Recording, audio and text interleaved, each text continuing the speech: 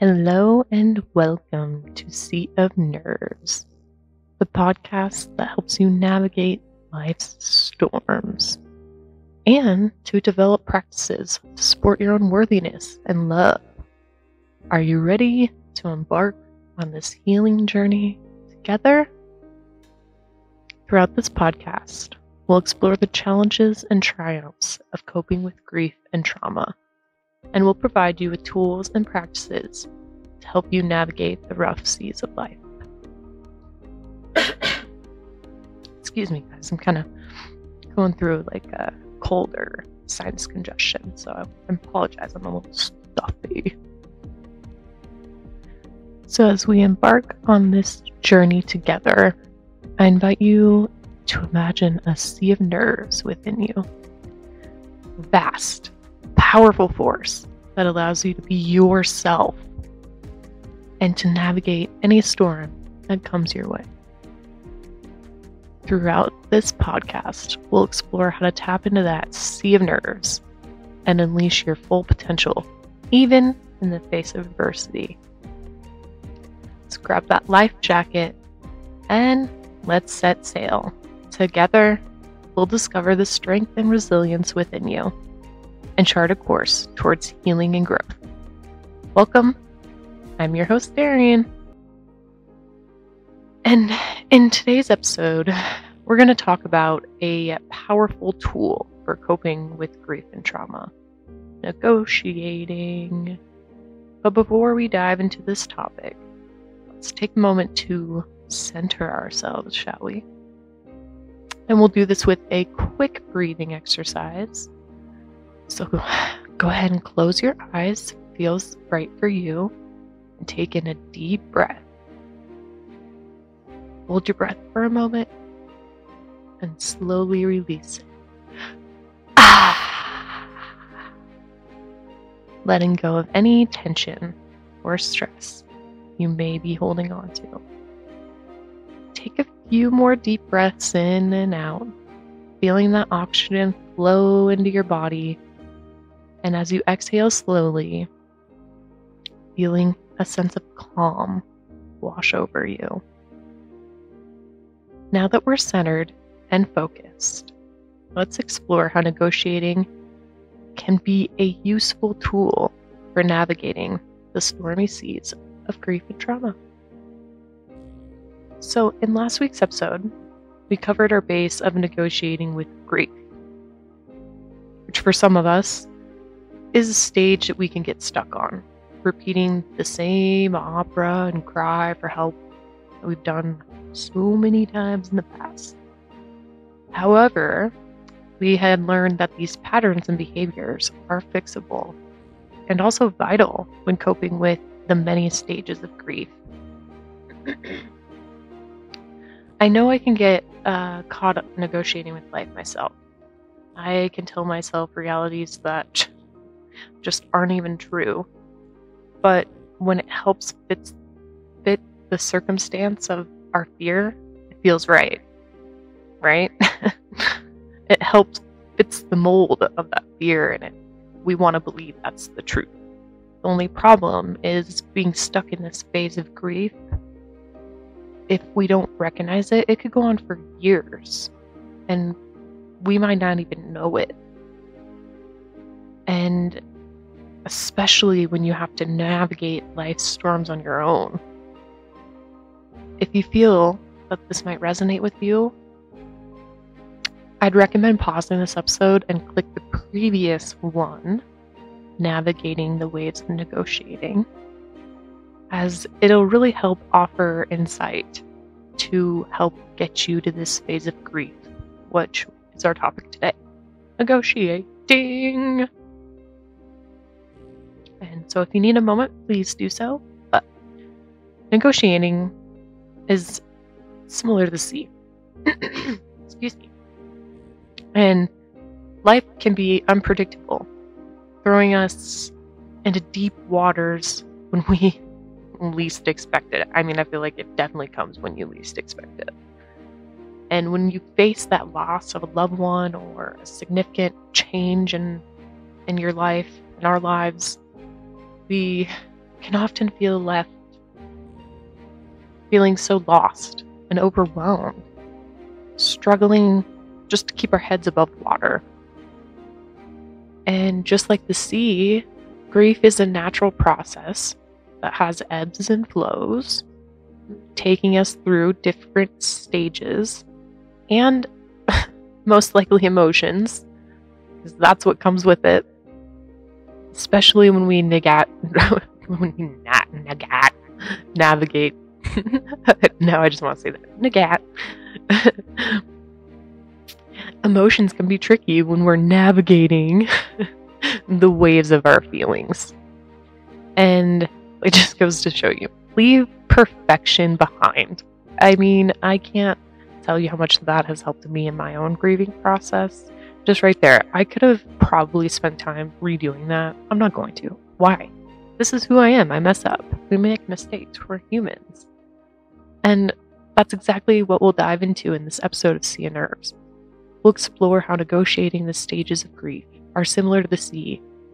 And by learning to ride these waves and accepting the phase and person in which we are in this current moment, we can find inner love and that worthiness and peace that we deserve in the midst of life's storms.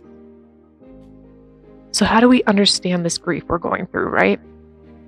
and it's essential because it helps make sense of these intense like these intense emotions that you may be experiencing or maybe even reacting to. And when we experiencing or when we experience that, we especially when we lose something or someone that's especially important to us, it's a natural response to loss. It's it's it's natural to feel this intense emotions from happy to sad to, you know, joy to depression to uh, just like I said, the rough waves. I mean, it's I love the sea analogy for this reason because you can imagine how you know they can get to 200 and some feet high, and that's crazy impressive, and then just drop down. I mean, that's our emotions, right? They can get crazy high if we want them to, and they're going to drop down when we allow them to as well. We have that control. We do. And that's where, when understanding grief and knowing this is a natural response to that loss, especially throughout the whole entire process of grief, right? That includes all of the different stages, including denial and anger and bargaining and depression and acceptance, which we haven't gotten to yet, and we will in um, in upcoming episodes. So, understanding and acknowledging these stages, we can begin to accept the reality of this loss and or many losses, as I've discussed in episodes before, and find new waves to move new now new waves, new waves to move forward. new ways to move forward, to ride the waves with grace and ease. Let's see what I did there. Haha, transitioned it, made it work. Mistake, not in my world. It's my world. Thank you, Bob Ross. if you don't watch Bob Ross paintings, you really are missing out. I promise you. It's really worth it. I just have to note on that. so, going back to grief. This is where grief is amazing. And maybe if you're dealing with something really heavy at the moment, you could be you could be sitting there and laughing and be like, "Oh yeah, sure, okay, yeah." I I feel like I'm struggling underwater, and you're telling me this feels amazing. Okay, Darian, that could be more than a lie, but actually it really is. And even if you are struggling underwater or do feel like that, there will be a time you'll resurface and you'll find that grief leads to growth and healing. And in the meantime, let yourself sink underwater. Do it. Let yourself sink. Let yourself feel everything. Let yourself surround it. Don't struggle for air. Don't struggle to come up. Let yourself feel it. I know that sounds really scary, Um, but and it's probably gonna feel scary. I know for myself it did. Um, I I ended up picturing myself like floating all the way to the bottom of the ocean, and like for me, that's just like really scary to think about even like now. But it's also kind of relieving because I also know when I resurfaced, I felt like a new person. I felt like a goddess walking out of water. And that's why I said it can be really amazing. And I feel like healing is always on the other side of grief anyway. We really need it to feel healed into another being or surface that is the inner true being of ourselves. It's also why I like to reference survival shows, especially if you watch watch them or read about them in books or have read about one. You know, they always come out of the experience if they're alive to talk about it, of course. Um, you know, they always talk about I feel like at the end the pattern is that most of them always have a deeper sense of life and they're ready to live life more deeply and not waste a second more of their time. And I hope that's what this podcast is bringing to you right here, right now. It's to show you that your life is precious. You're you don't need to go through some crazy sur- I mean, like life is a survival show, right? I mean, when you want to look at it that way, is kind of how I look at it. I mean, every time we're gonna come out of the brink and be like, "Oh my god, I can't believe I survived that." And yeah, I may not be crazy enough to end up on a TV show because it's not oh my god, I went through a swam through jellyfish, swam through shark, got stranded for three days in the middle of the ocean and made it. I mean, yeah, that that's a visible story, right? But there's some deep, dark stories that people um, have to experience that are way worse than that, and they come out and go, "Wow, I can't believe I survived that." So I hope we keep that in mind. You know, you've survived a lot and have come already this far. And even though grief is a painful and challenging experience, it, it can give that opportunity for us to really reflect on our lives, our relationships, our values. The process of grieving can really help us gain that new perspective we might need on life to deepen anything in the wheel of life that is your life and to develop greater empathy and compassion towards others, ultimately. And that's what we can learn through grief to appreciate life more fully, find meaning and purpose in each experience. And additionally, understanding grief can help us better support and empathize with others who may be going through a similar experience. It allows us to be patient and compassionate and to allow that understanding of their emotions and reactions.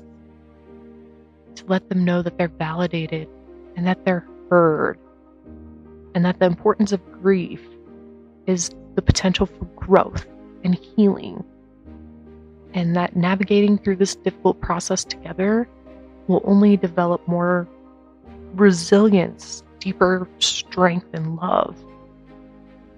And with this within you, I hope you can gain more perspective on yourself and gain courage to be yourself because you are a true, vibrant essence that is you. And you make everyone around you shine so much brighter. I hope you can pause this podcast for a second and give yourself the much needed congratulations. Because I know you may have felt this experience just one time in your life. Even if it may have been short lived. I I think there's one time in your life that you can go, "Oh my gosh, I I had the courage to be myself, and because I was, I inspired others." Maybe it was just wearing an outfit that you felt super stylish in or doing your makeup a different way or getting out of your comfort zone and then someone complimented that and you never know that might have inspired someone to be themselves.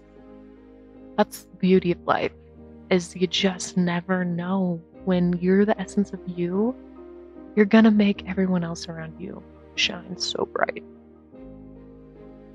And i hope just write it down or make with peace with it because shining the briny or the briny the brilliant stardust being of a human that you are it will not only continue to make you show up vibrant but as i said it'll continue to do others to do the same.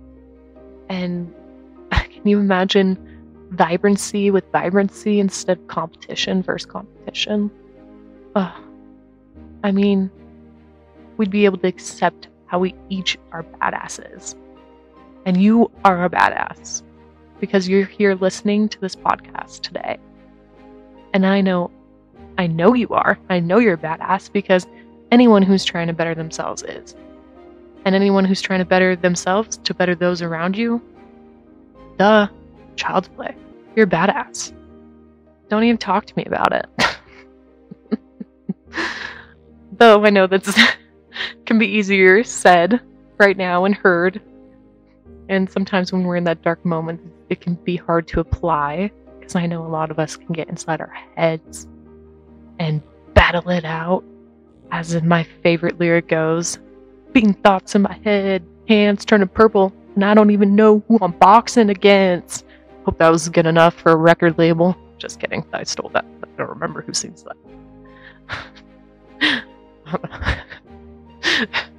I'm a rapper in my secret life, just so you all know.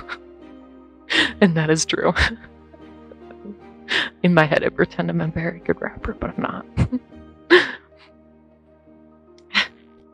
so, anyway, going back to what we were talking about, not about how I have a secret rapping career.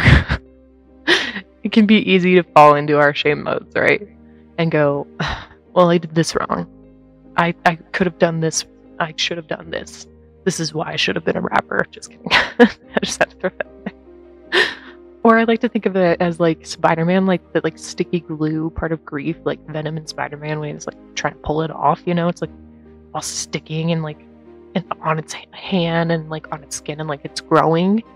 That's also how I like to picture it. And it just takes over a unique mindset. And if you continue to feed it, it's going to continue to grow but if you like really strengthen your mindset, it can lead to re- a really like deep and personal experience.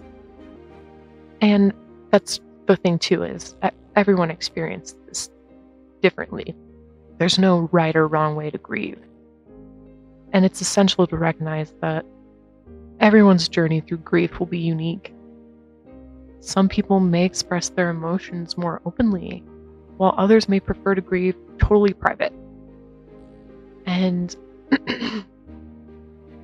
some may find comfort in talking to others about their feelings. And if you're like me, we may prefer to go into a dark room and process our emotions alone.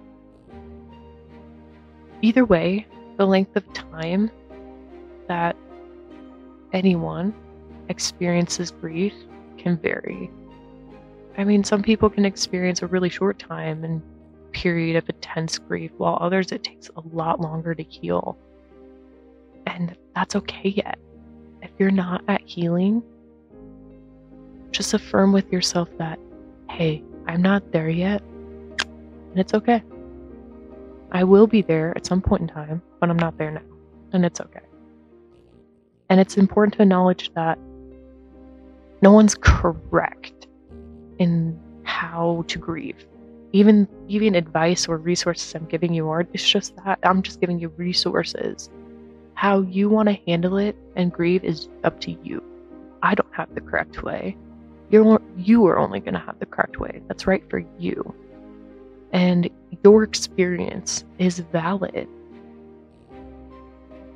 And we each have our own journey of our own and I think that's just where it's essential to respect and support each other, especially because we each have the unique way of processing and coping with any kind of loss. And I can tell you my grieving process is definitely nonlinear, paradox of unsettlement at best. And I'm still accepting what I have in this moment by telling myself kindly and compassionately that I deserve so much more. I deserve so much more because I do. And it doesn't make me a bad or evil person for wanting more. And it's okay to laugh and to joke, to cry until your head feels like an amphitheater, especially when you're in this process. And this is one of the parts that really got to me. I felt like a bad person. I felt guilty so regularly as I was trying to cope. I was having a good time while dealing with so many burdens at the same time, and it was intense and confusing, and I wanted to rip all my hairs out. And it was burdens that made my soul and heart just feel heavy and dirty, and I just couldn't, and I wouldn't. I just, I, I didn't want to face it. And for so long, However, and it's why I preach finding and seeking professionals like counselors and therapists because all of the ones I've had have saved my life. And if you live here in Colorado, I can recommend you to so many. So please don't hesitate to reach out to me if you are in need of some amazing assistance. I got your back. And if you're not in state, I would recommend setting that intention of finding a therapist, and that's it. Don't try to force out of desperation because most likely you won't like find the correct one or it'll make you hate the experience in general. I definitely have known people who've had that experience. And I can tell you from my own, as I just I stated out loud, I'm going to get therapy and I'm going to find the best therapist that fits my needs at this time in my life. And I'm asking for your trust here. And almost a week's time, I kid you not, and not a hair longer, a therapist always finds me through some kind of weird connection. And that's why they always say don't chase, attract. I am not kidding you guys. This shit works. It works.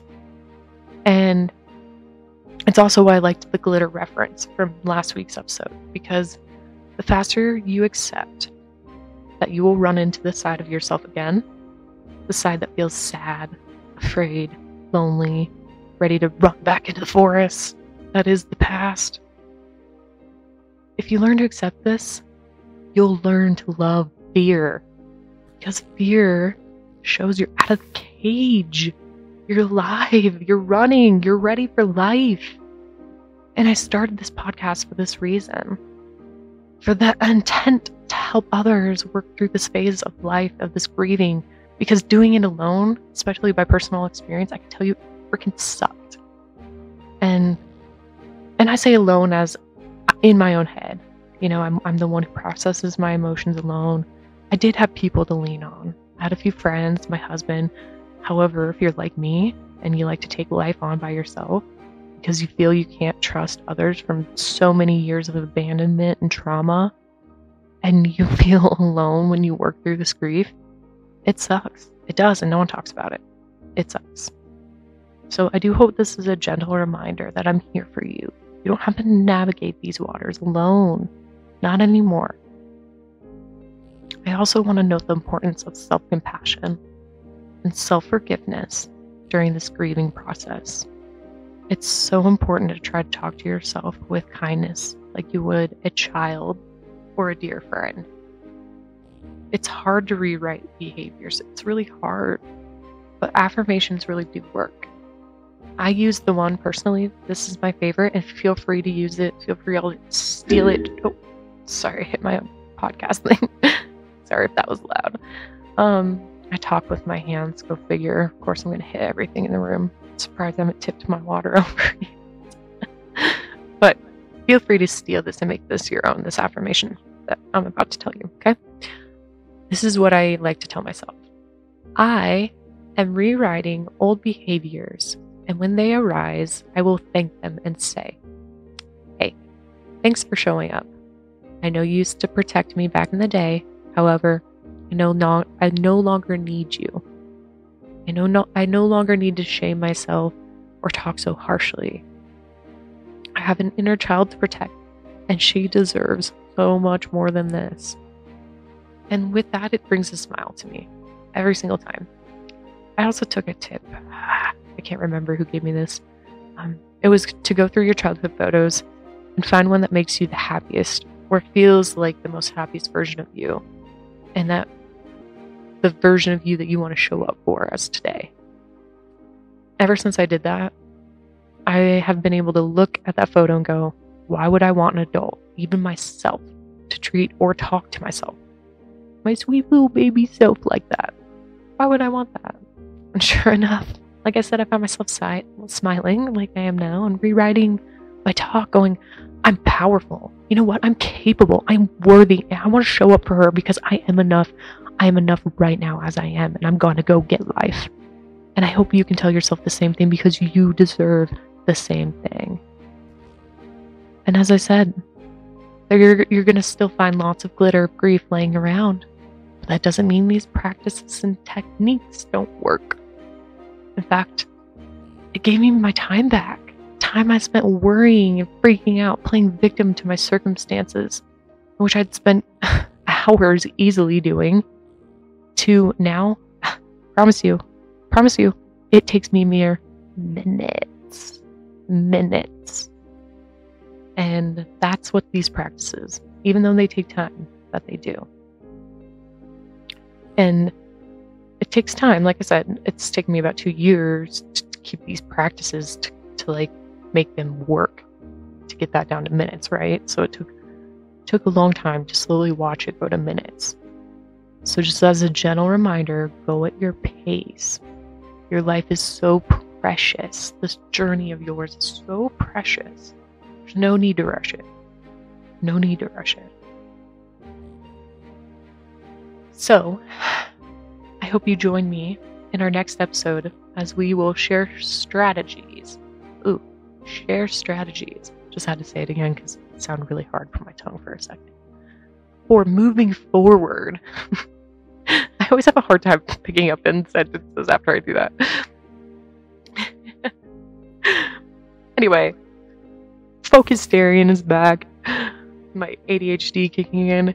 But Join me next week as we have strategies for you for moving forward after experiencing grief or during experiencing grief, such as things as maybe finding new hobbies, interests, uh, volunteering, creating new goals, techniques like I have to rewrite behaviors, and new goals, especially that fit you, the person you are right now, not the person you used to be, but you are, who you are right now, grief and all.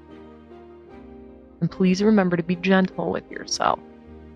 No healing is possible with time and support.